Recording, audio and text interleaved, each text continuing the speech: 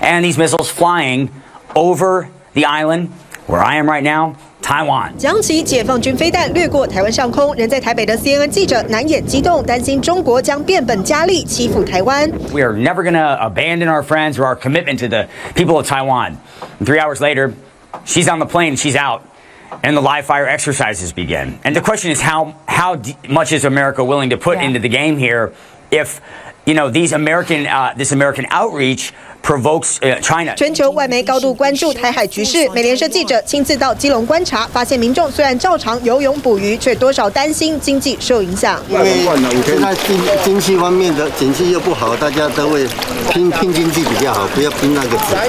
那就是避开那个地方了，避开他那个演习的地方了。另外，俄罗斯持续力挺大陆军演，痛批就是佩洛西挑起紧张局势。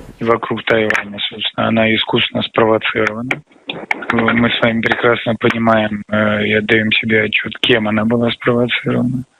Визитом Nancy Pelosi。美国专家认为，拜登近期常松口会协防台湾，这种修改战略模糊的做法，确实伴随风险。Is just concerned that maybe not now, maybe not in the few years to come.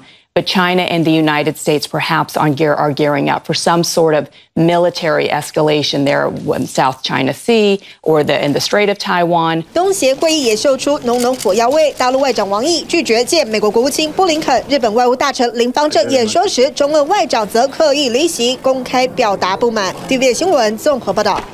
请支持 TVBS 国际 Plus 全新频道，让您扩大视野，掌握趋势，接轨全世界。恳请订阅，开启小铃铛。